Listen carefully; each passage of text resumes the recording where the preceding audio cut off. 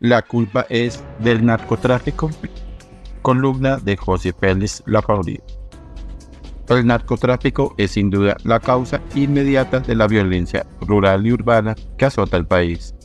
Aunque las peroratas de la izquierda insistan en que la causa de todos los males en la tierra. Narcotráfico. Dos puntos. Nuestro mal de males. Con muchos síntomas de su gravedad. Más corrupción, mayor inseguridad urbana por microtráfico, insostenible inseguridad rural por el control territorial y su consecuencia, la pérdida efectiva de soberanía y finalmente montañas de dinero. ¿Cuál es el tamaño de este negocio maldito? Intentémoslo. En 2002, según el Departamento de Estado de Estados Unidos, había 148.000 hectáreas de coca, 102.000 según la ONU y 416 alcaldes amenazados despachaban a distancia.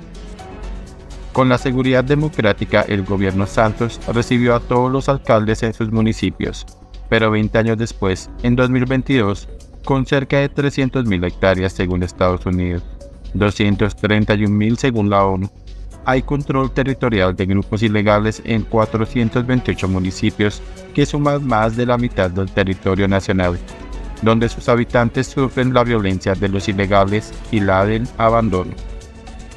Es la Colombia profunda, tan profunda que el Estado no ejerce soberanía y sus pobladores están a merced de los bandidos. ¿Cuánto vale el negocio de la cocaína? En 2002, el 70% se exportaba y el 30% se quedaba para consumo local, relación que se había invertido para 2022 año en que Colombia produjo 1.773 toneladas, de las cuales, descontadas las incautaciones, se exportaron 427 y quedaron en el país 675, con precio promedio de 30 dólares el gramo en Estados Unidos y de 2 dólares en Colombia. Aquí es regalada, para nuestra desgracia, y con tasa de cambio promedio de 4.256 por dólar los ingresos del narcotráfico estuvieron por los 6,2 billones de pesos.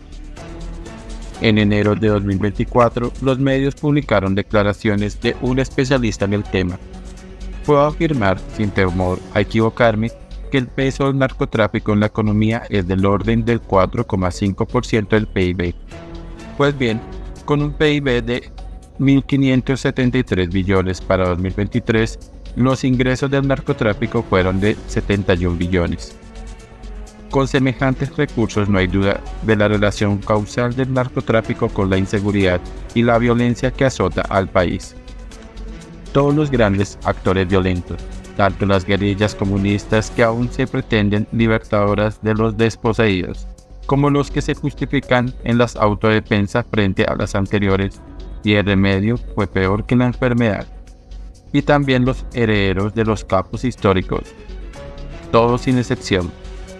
Financian su violencia con el narcotráfico y algunos con sus rentas ilícitas subsidiarias, minería ilegal, extorsión, abigeato, etc.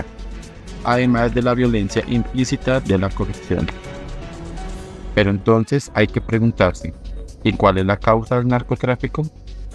La pérdida de los valores y la cultura del dinero fácil, dirán unos otros que la alta demanda y el buen precio convierten al narcotráfico en un negocio que justifica los riesgos.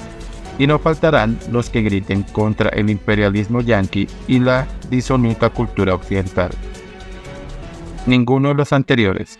Es el narcotráfico el que corrompe, y a pesar de sus inmensos ingresos, la demanda y los precios caen por la competencia de las drogas sintéticas y la sobreoferta que se queda en el país. Al parecer Colombia sigue sin entender las causas últimas de la violencia y la pobreza rural.